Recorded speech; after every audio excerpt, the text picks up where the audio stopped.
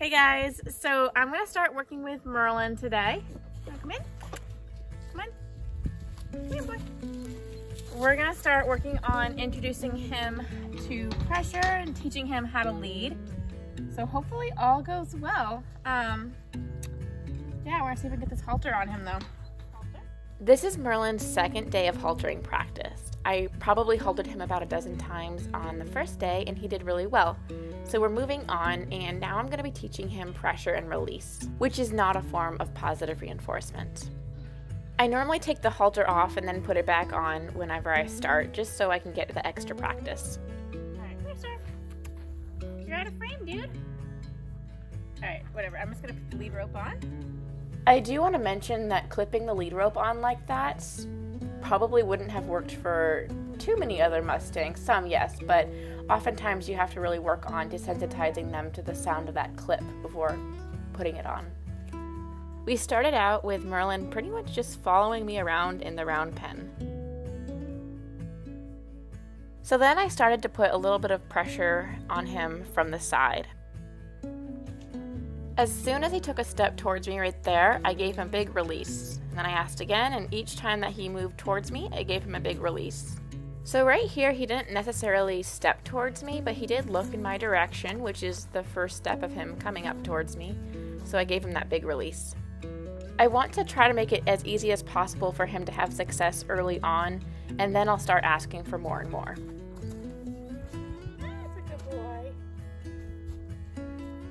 So for those of you who are new to my channel, I just want to let you know that this is not training advice or tutorial. This is me. I'm a project equestrian and I'm just sharing my journey as I'm figuring out this process of training Mustangs. So this is just me sharing my experience.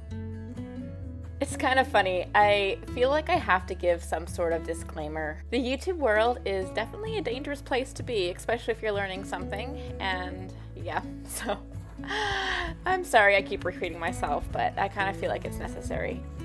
What you're watching is me trying to figure things out right now.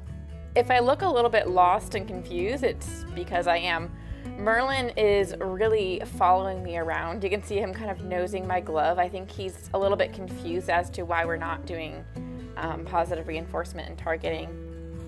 What am I to do with you? Because Merlin was being so good and really just following me around, it really threw a wrench in my plans for the day, so I had to kind of think about my approach.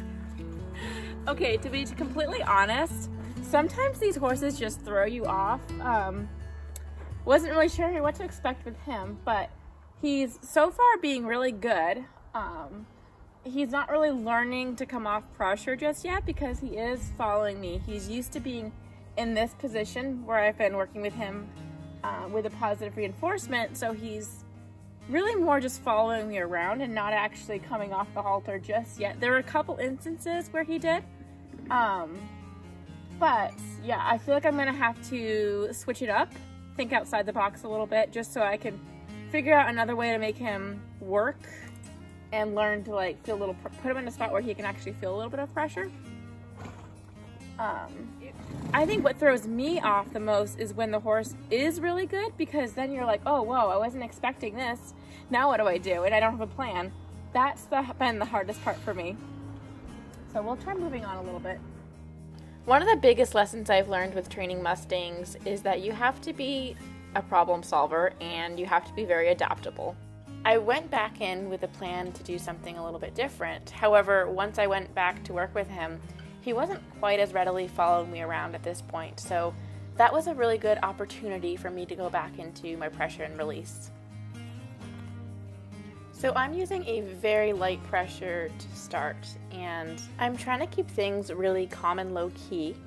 And I really don't want to get into a tug of war with him because I'll lose every single time. So I'm focusing more on just being persistent and giving him those releases to let him know he's done the right thing. Um, and I'm really just taking it step by step. Each time I have to put pressure. If he steps forward, I give a release, and eventually it'll get smoothed out and he'll be leading beside me consistently. He's still reaching out to my glove. I'm, I'm not 100% sure if that's him targeting because I don't teach targeting with the nose or if he's just trying to sniff it because they're an unusual glove. But either way, while he is touching my glove sometimes, there are other times when I am able to put pressure on him and he is responding to that.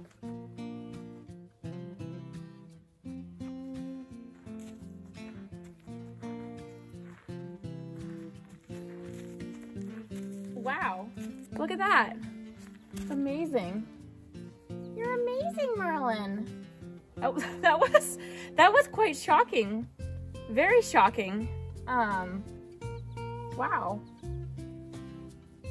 I'm I'm really shocked. Like he, he actually seems like he's really getting a feel for it. Um so early on I was rewarding even even if he just moved his head towards me, I was giving him a release. Um even though he wasn't moving forward or moving his body towards me, it was a step in the right direction.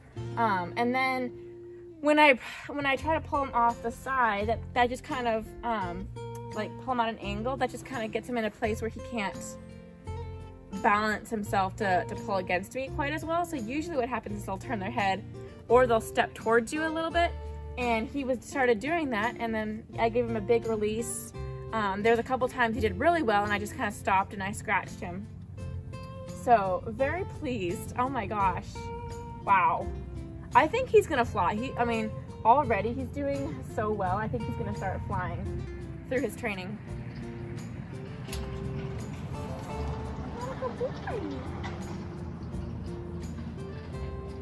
I really like this horse. Oh my gosh. He's so cool.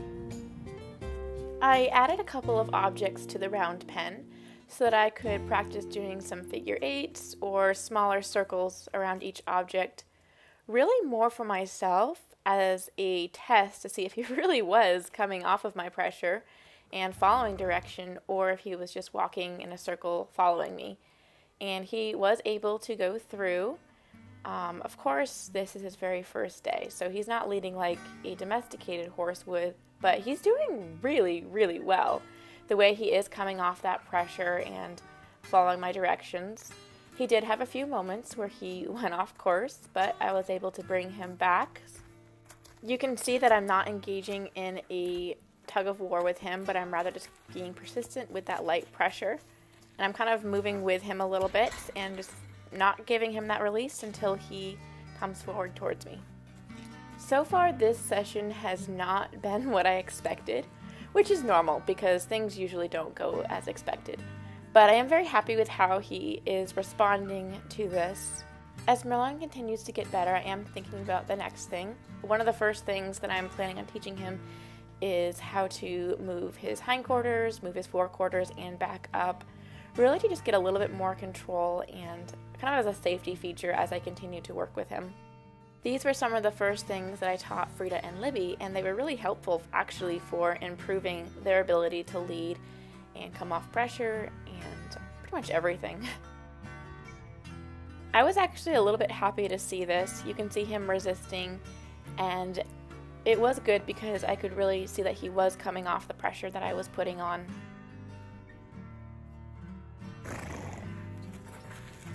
All right. Ooh, he did really, really well. So I'm gonna give him a break. Um, that was what, maybe half an hour of work? And he's doing amazing. So I'm gonna give him a break, a little brain break, and then we'll come back out.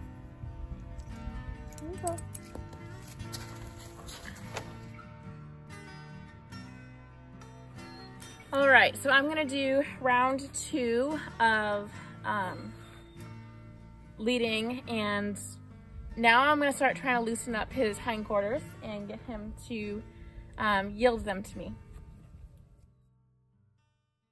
All right, so here I'm putting my attention on his hindquarters and I'm really looking for his left back leg to cross over in front of his right, just like that.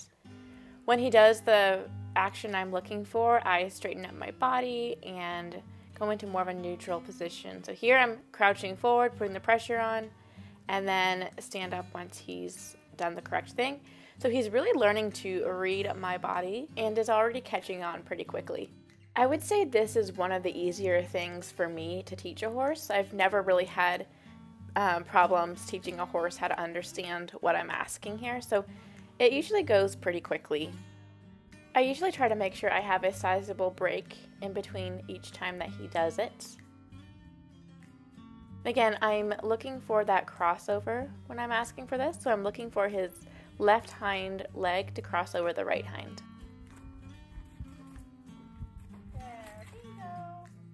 For anyone wondering, bingo does not mean anything. I just, I don't know, I used it. But okay, so I do want to make sure that I'm doing both sides. So after I taught it on the other side, I switched sides, and now I'm teaching him and looking for that crossover of his right hind to go over the left hind. And there it is. Merlin did fantastic on his first day of basic groundwork. I'm really proud of him. I do want to remind you that while things have gone pretty smoothly so far, he's still a wild Mustang and we still have many challenges ahead. That's all for today's video, but this is a quick preview of some things to come. Thanks for watching and stay tuned for more.